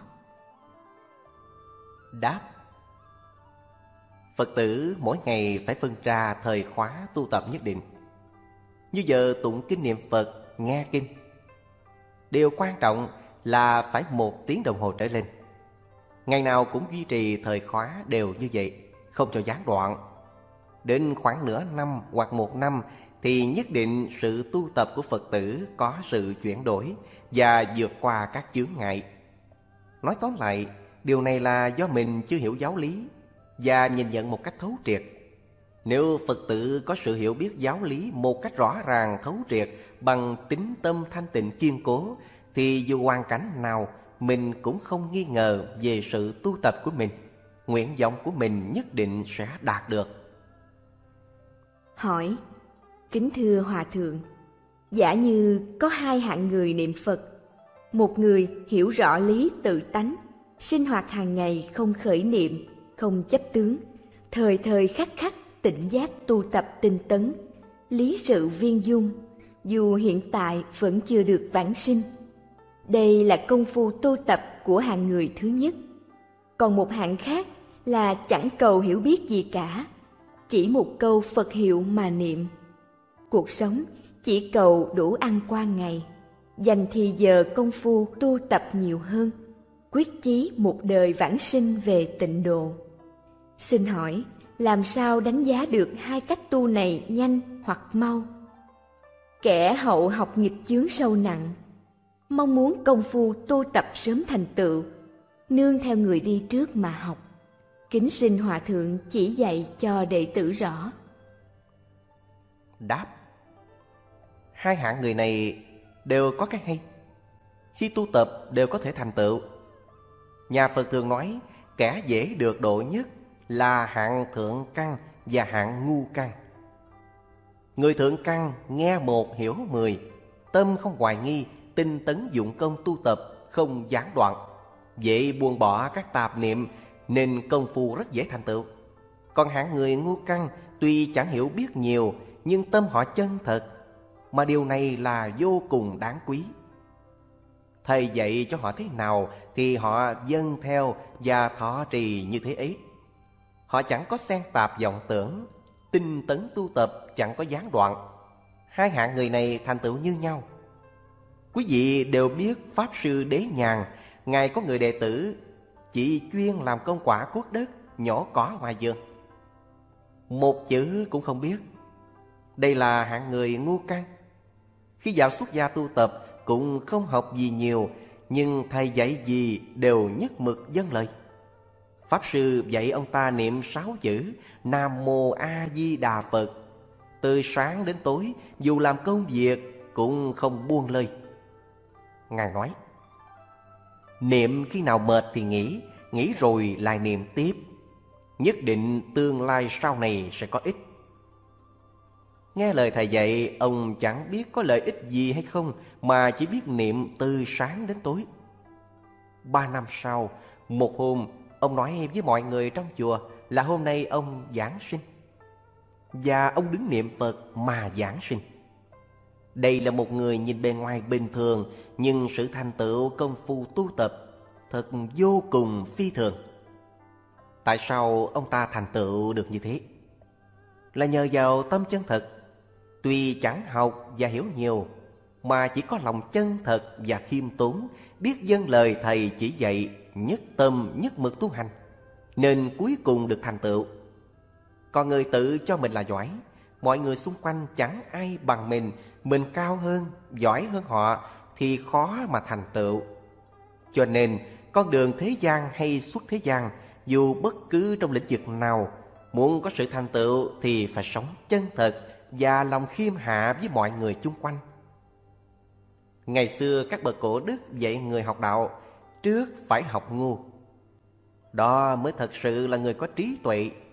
Học ngu là không học thông minh, mới thật sự là người có trí huệ chân chánh chân thật.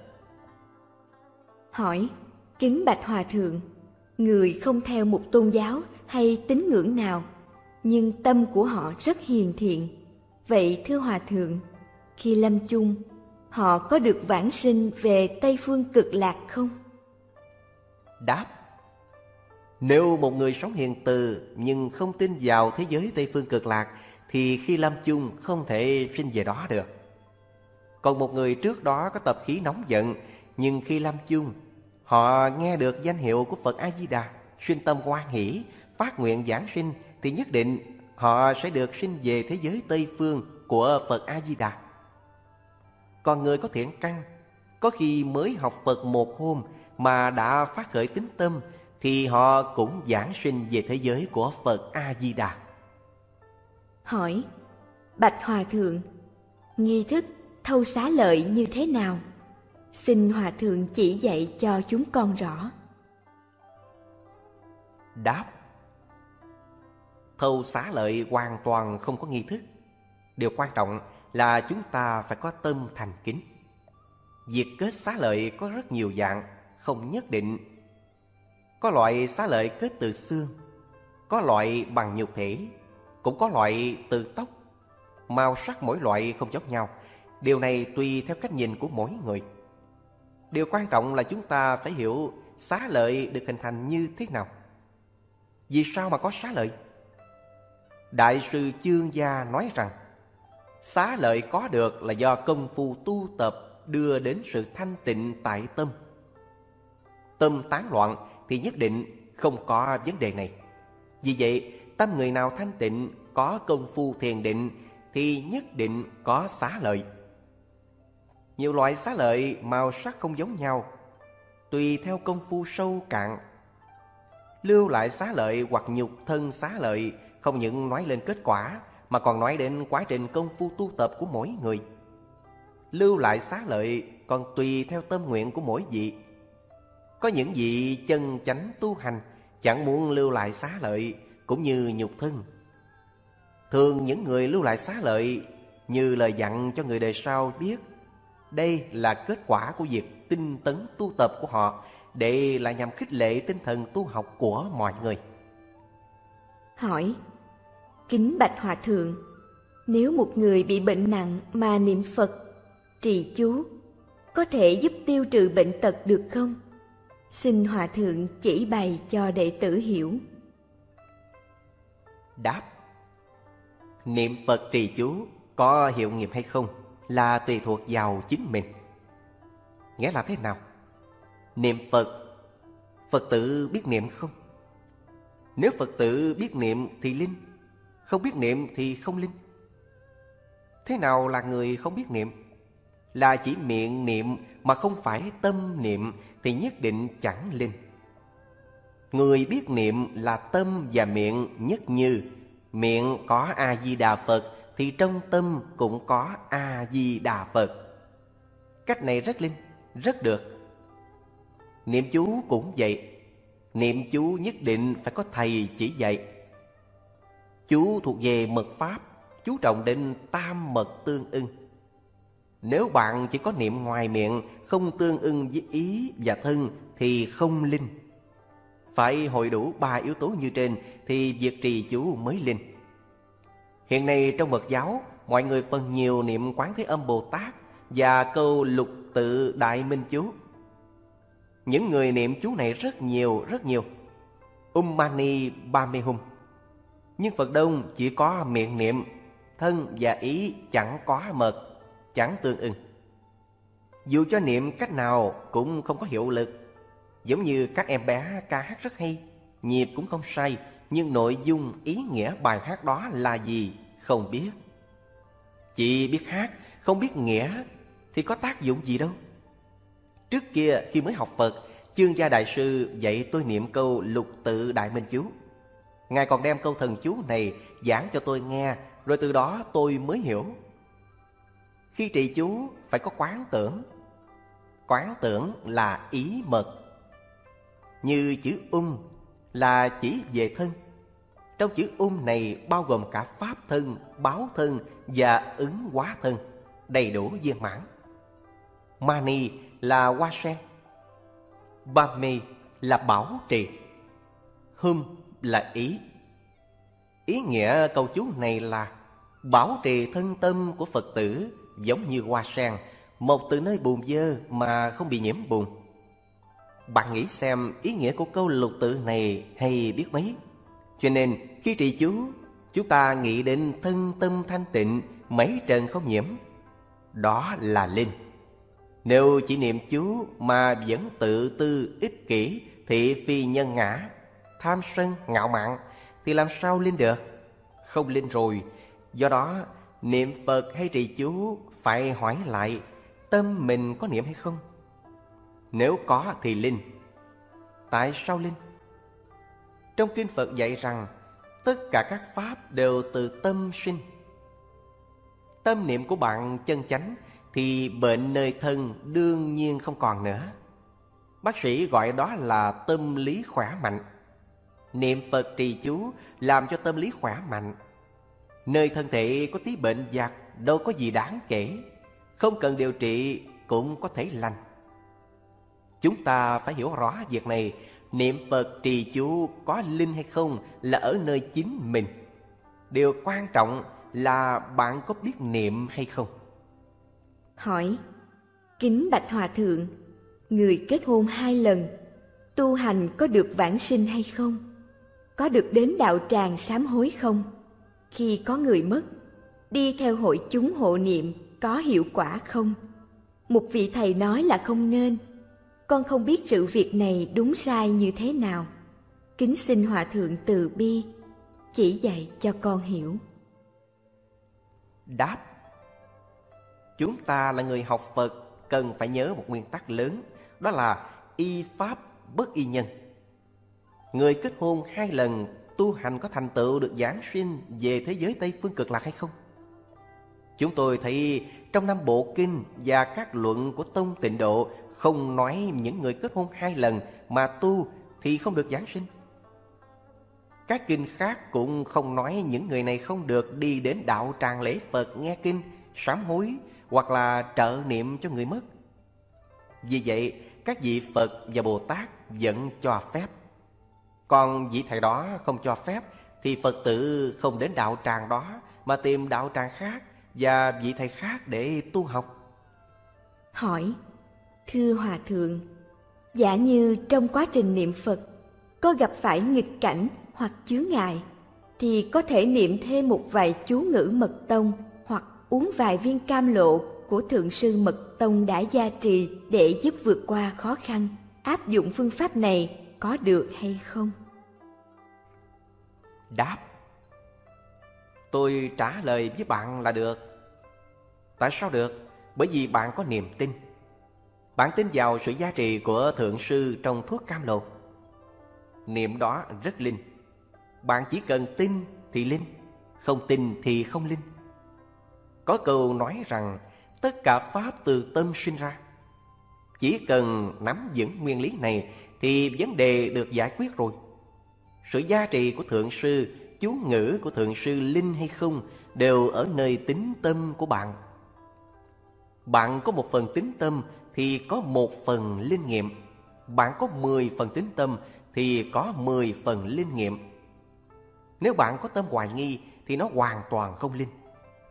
Bạn chẳng cần phải để ý vật của Ngài có linh hay không, Mà chính cái tâm của chúng ta có linh hay không. Điều này tôi dạng nói quá nhiều rồi. Chẳng phải chỉ việc này mà còn nhiều việc khác. Ví dụ như có bệnh, Bạn đi đến bác sĩ khám. Bác sĩ cho bạn uống thuốc. Bệnh của bạn có lành hay không? Đối với bác sĩ, không liên quan. Thuốc cũng không liên quan. Cái gì liên quan? Là tính tâm của bạn. Bạn có niềm tin vào bác sĩ, cũng như những toa thuốc của bác sĩ đã cho, thì sẽ đem lại kết quả trong chữa trị. Tính tâm sẽ chữa lành bệnh cho bạn. Vị thầy thuốc kia có giỏi đi nữa mà bạn chẳng có niềm tin, trong tâm luôn hoài nghi thì khi uống thuốc một chút công hiệu cũng chẳng có. Kinh Hoa Nghiêm dạy rằng Tính di đạo nguyên công đức mẫu trưởng dưỡng nhất thiết chư thiện căn bạn có thể xây dựng tính tâm nơi chính mình chữ tín trong nhà phật khác với các tôn giáo khác chữ tín của nhà phật thứ nhất là tin vào chính mình thứ hai là tin vào đối phương vào thầy hướng dẫn chỉ dạy mình được vậy thì con đường học đạo của bạn mới thuận buồm xuôi gió đối với chính mình có tính tâm mà với thầy không tính tâm thì không thể thành tựu. Còn đối với thầy có tính tâm, mà chính mình không có tính tâm thì cũng thất bại. Ngẫu Ích Đại Sư trong quyển Di Đà Yếu Giải nói đến sáu điều tính. Thứ nhất là tin vào chính mình. Thứ hai là tin vào tha lực, tức là bậc thiện tri thức bên ngoài. Tức là tin vào thầy, vào Phật. Thứ ba là tin sự, tính lý, Thứ tư là tính nhân, tính quả. Thứ năm, tính pháp thế gian. Thứ sáu, tính pháp xuất thế gian. Nếu bạn hiểu rõ ràng minh bạch sáu chữ tính này thì toàn bộ vấn đề đã được giải quyết. Khi chúng ta bị bệnh, có nên đi khám bác sĩ không? Nếu không đi, bệnh phát nặng thêm hoặc xảy ra vấn đề gì, họ sẽ nói bạn đã hại họ. Vì vậy, cần phải đi bác sĩ. Sao bạn khuyên họ đừng đi khám bác sĩ? Chúng ta không thể làm cách đó được.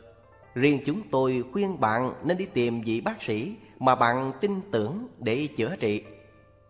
Bác sĩ làm tăng thượng duyên cho bạn, còn thân là nhân duyên chính. Nếu bạn thật sự biết đoạn diệt tất cả việc ác, tu tất cả điều thiện thì tốt lắm. Đây mới thật sự gọi là tiêu tai, thật sự gọi là tiêu trừ nghiệp chướng. Bệnh tật cùng nghiệp chướng có sự liên quan mật thiết. Nghiệp chướng tiêu trừ rồi thì bệnh tật tự nhiên thuyên giảm. Phải trấn dưỡng tâm từ bi, nhất định không sát sinh hại vật thì tai nạn của bạn sẽ giảm thiểu. Mọi sự khổ vui chẳng phải từ bên ngoài đưa đến mà đều do tự mình chiêu cảm. Điều này trong kinh luận Phật Tổ thường nói với chúng ta rất rõ. Hỏi Bạch Hòa Thượng, con có quen một người bạn làm nghề đông lạnh nhưng anh ấy không trực tiếp sát sinh. Ban đầu, từ một cơ sở nhỏ rồi phát triển thành một công ty lớn, có bảy tám chục công nhân làm việc.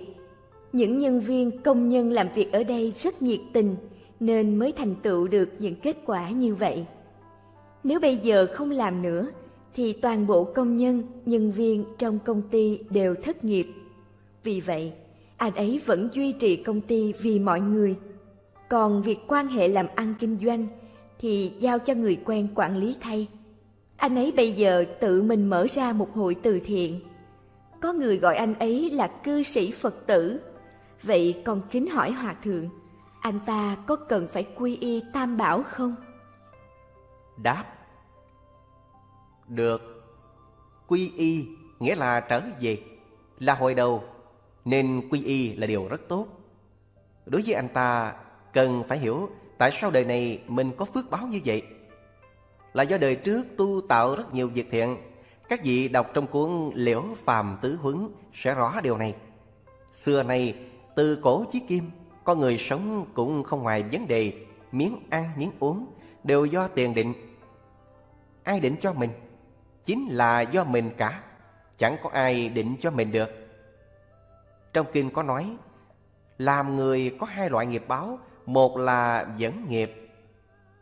Sao gọi là dẫn nghiệp? Tức là trong đời quá khứ, Chúng ta đã làm các việc thiện hoặc ác. Những hành vi đó, nó tích chứa vào tàn thức của mỗi người, Tạo thành một động lực thúc đẩy họ đi đầu thai trong mười pháp giới. Dẫn nghiệp chính là năm giới, Thập thiện giới. Đời trước, ta hành trì tu tập năm giới, Mười giới nghiêm mật. Không sai phạm thì nghiệp lực sẽ dẫn ta đầu thai lại quải người. Đầu thai vào một gia đình nào đó. Vậy ai là cha mẹ mình? Là những người có duyên với mình. Nhân duyên này rất phức tạp Nhưng không ngoài bốn loại Báo ân, báo oán, đòi nợ, trả nợ. Nếu như báo ân Thì đứa con mà bạn sinh ra rất hiền hậu, hiếu thuận Thiên tính rất tốt. Còn báo oán thì nó làm tán gia bài sản chết người Còn đến đòi nợ thì mình nuông chiều, yêu thương, cung phụng, lo lắng mọi mặt trong cuộc sống sinh hoạt cho nó. Đến khi khôn lớn thì nó chết mất. Đây là do kiếp trước mình thiếu nợ nó về tiền bạc, bây giờ đến đòi nợ xong là đi. Còn trả nợ thì đứa con đó sớm tối quan tâm, chăm lo cung phụng cha mẹ, những nhu yếu trong cuộc sống, nhưng trong tâm không cung kính, không hiếu thuận. Nếu không có liên quan đến bốn ân này thì không bao giờ đầu thai đến nhà mình. Sau khi hiểu rõ vấn đề này, Phật tử đem những nghiệp duyên đó chuyển hóa thành pháp duyên. Đây chính là giác ngộ.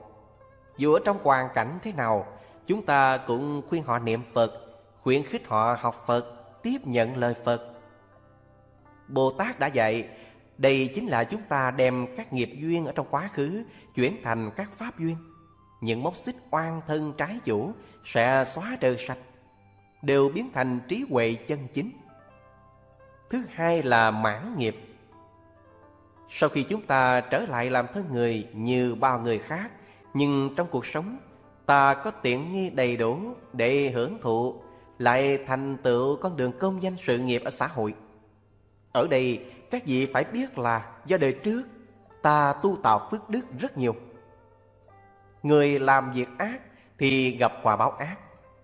Người biết tu tạo phước đức là nhân, đưa đến sự giàu sang là quả, dùng pháp bố thí là nhân, thông minh trí tuệ là quả. Dùng vô úy bố thí là nhân, sống lâu khỏe mạnh là quả. Nếu như bạn làm được cả ba loại bố thí này thì kết quả vô cùng thù thắng. Bạn vừa giàu sang, vừa được thông minh trí tuệ và được thân thể khỏe mạnh sống lâu. Bằng quan sát có nhiều người giàu có nhưng lại không thông minh trí tuệ, thậm chí học không hết tiểu học, nhưng phước duyên của họ rất tốt. Làm việc gì cũng thành công, lại được những thành phần trí thức, bác học phụ giúp làm nên sự nghiệp. Khi về già, các nhân viên thuộc hạ thấy họ làm những việc kinh doanh buôn bán. Những công nhân nhân viên này đến để báo ân cho họ vì do đời trước thiếu nợ họ. Do đó, làm người cần phải tu thiện tích đức. Khi đầy đủ mãn nghiệp thì mọi việc vô cùng tốt đẹp. Trong đời trước, chúng ta tu hành thiếu khuyết thì đời này về phương diện nào đó ta hay gặp những khó khăn khốn khó. Nhưng sau khi mình hiểu được Phật Pháp Thì ngay bây giờ Chúng ta nỗ lực tu tập vẫn còn kịp. Khi Phật tử hiểu rõ điều này, Thì nên cố gắng nỗ lực tu tập trong thời gian 3 năm, Sẽ có kết quả tốt đẹp. Vận mạng nhất định có, Nhưng chúng ta có thể cải đổi vận mạng được. Nếu tâm chúng ta nghĩ các việc thiện, Làm các việc thiện, Thì những điều xấu từ từ bớt đi. Các việc tốt càng ngày càng thù thắng. Còn nếu tâm chúng ta chứa những điều bất thiện, làm những việc bất thiện, thì dù có phước báo nhiều bao nhiêu đi chăng nữa, nó cũng dần dần tổn giảm. Hưởng phước một thời gian nào đó, phước sẽ hết. Khi phước hết rồi, thì các ác nghiệp sẽ đến với mình. Chúng ta hãy thử quan sát và nhìn xem những gia đình giàu có ở xã hội bây giờ bỏ tiền bạc ra kinh doanh buôn bán ít năm thì tiêu tan sự nghiệp. Đó chính là trong quá khứ, họ có phước báo, nhưng bây giờ không hành thiện tích đức.